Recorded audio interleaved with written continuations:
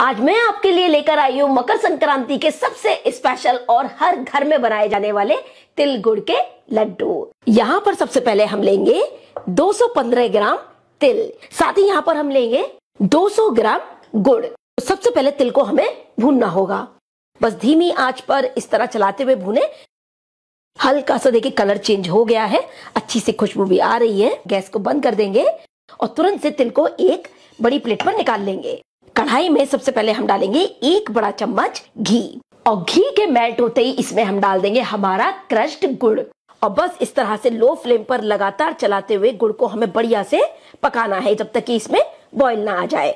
इस तरह की कोई भी स्टील की बड़ी प्लेट या थाली कुछ भी ले लीजिए और इसको थोड़ा सा हम घी से ग्रीस कर लेंगे।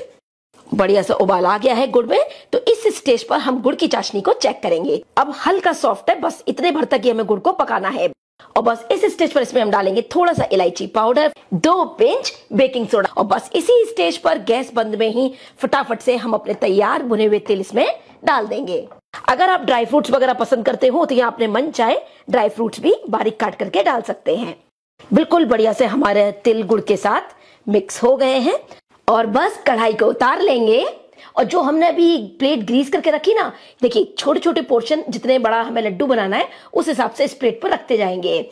हाथों को हल्का सा घी लगा के ग्रीस किया हुआ है मैंने, और देखिए, इस तरह से लड्डू की शेप देंगे। बिल्कुल भी आपको ये गर्म महसूस नहीं होंगे हल्की सी हवा लगते ही। और देखिए, जिस तरह मैं लड्डू बना रही हूँ, बिल्कुल इसी तरह आप बनाते जाएँ। इतने बढ़िया लड्डू बनेंगे कि सब तारीफ़ करेंगे, विश्वास नहीं होगा किसी को, न देखकर, न खाकर, कि ये आपने घर में बनाए हैं। बिल्कुल हलवाई स्टाइल।